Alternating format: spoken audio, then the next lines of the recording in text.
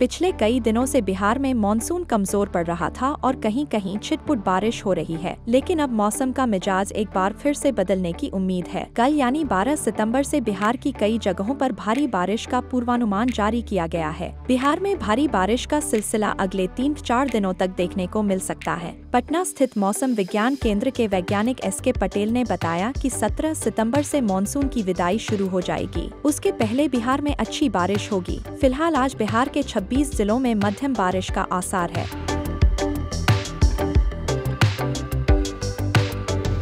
वैज्ञानिक एस के पटेल की माने तो बंगाल की खाड़ी से उठने वाले मौसमी सिस्टम की वजह से मानसून टर्फ के रूट में भी बदलाव होने की संभावना है।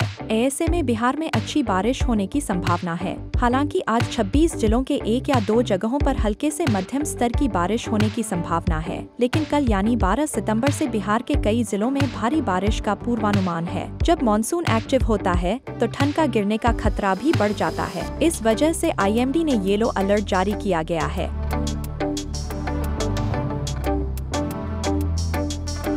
आईएमडी के आंकड़े बताते हैं कि पश्चिम चंपारण, पूर्वी चंपारण, गोपालगंज, सीवान, सारण, सीतामढ़ी, शिवहर, मुजफ्फरपुर, वैशाली, मधुबनी, दरभंगा, समस्तीपुर, पटना, भोजपुर, बक्सर, अरवल, रोहतास, भभुआ, औरंगाबाद, गया, नवादा, नालंदा, जहानाबाद, शेखपुरा, लखीसराय और बेगूसराय ज़िले के एक या दो जगहों में हल्की से मध्यम स्तर की बारिश होने का पूर्वानुमान है। बाकी 12 जिलों में कहीं कहीं छिटपुट बारिश हो सकती है।